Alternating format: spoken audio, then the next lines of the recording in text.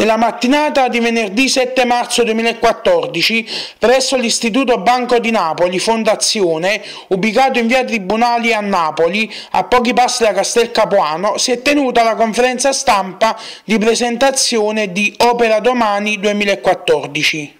In particolare è stato presentato il progetto Buon compleanno Giuseppe Verdi per la produzione di opere liriche introdotte da percorsi didattici per scuole primarie e secondarie di primo grado e di AIDA, Amore e Coraggio, iniziativa che dopo 18 edizioni vedrà nei giorni 10 e 11 marzo al Teatro Politeama la partecipazione di circa 5.000 bambini, studenti di 40 scuole elementari e medie inferiori di Napoli e provincia prenderanno parte alla rappresentazione della Ida di Giuseppe Verdi. Ai nostri microfoni intervengono il direttore artistico Capri Opera Festival Pasquale Amato e il direttore generale Istituto Banco Napoli Fondazione, dottor Aldo Pace. Aida, amore e coraggio, un'iniziativa veramente molto importante. Sì, innanzitutto volevo porre l'accento sulla, sulla, dedizione che l'Associazione Capri Opera Festival ha per i giovani. Eh, nei suoi eventi, nel, nella sua storia, ha sempre avuto l'attenzione a, a, dare nuove opportunità, a dare eh, visibilità ai giovani. E quest'anno, dopo insomma, con, con, grande, eh, con, grande, sacrificio abbiamo portato a Napoli questo evento che eh, da 18 anni eh, insiste in tutto il nord Italia, il nord e il centro Italia e finalmente siamo riusciti a portarlo a Napoli. Eh, saranno coinvolti circa 5.000 tra bambini e genitori interverranno ad uno spettacolo, a degli spettacoli che si terranno al Teatro Politeama di Napoli il 10 e 11 marzo, e però i bambini per arrivare a questo spettacolo sono, hanno, hanno, seguito un percorso, un laboratorio con i loro docenti in classe per prepararsi a questi spettacoli ed esserne protagonisti perché loro saranno il coro dell'opera.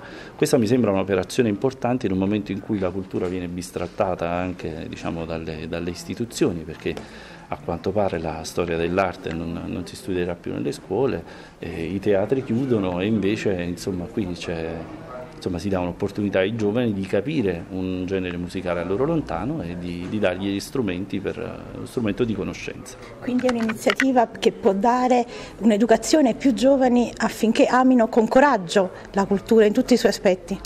Certo, certo, sicuramente sì, però la cosa importante è che questo viene fatto attraverso uh, un coinvolgimento attivo di questi giovani, perché insomma, la cosa importante è stata uh, dare loro, attraverso dei laboratori, attraverso del, dei, dei percorsi didattici, dare loro gli strumenti per capire fino in fondo che cosa andavano a vedere a teatro e insomma, dare loro anche la possibilità di parteciparvi attivamente.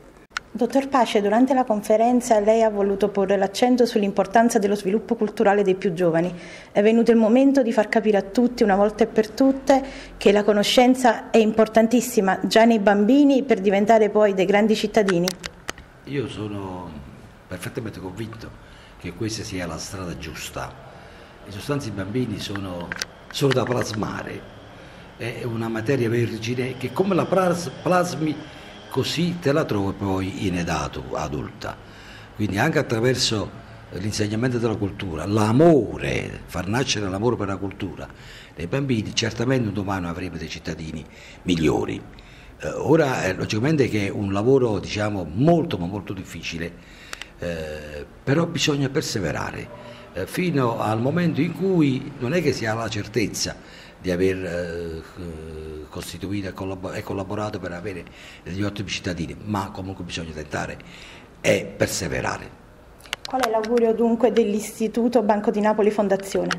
L'augurio del Banco di Napoli Fondazione è quello di un domani di essere cosciente di aver eh, collaborato per far sì che questo obiettivo venga raggiunto. Questo è un piccolo passo, grande passo nel frattempo per la cultura di questa città.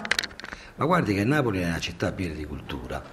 Purtroppo non è che qualcosa contro i mass media, per carità, però purtroppo i mass media danno molto più importanza a tutte le ne- negatività della città di Napoli. Napoli eh, dovrebbe essere una città ricchissima, eh, solo eh, perseverando con la cultura e con il turismo.